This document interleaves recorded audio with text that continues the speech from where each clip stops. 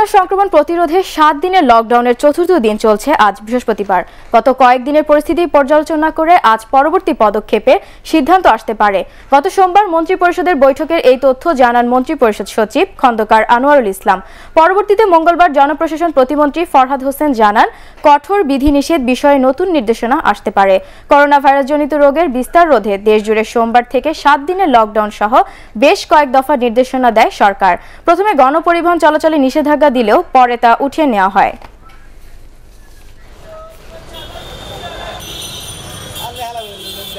হয়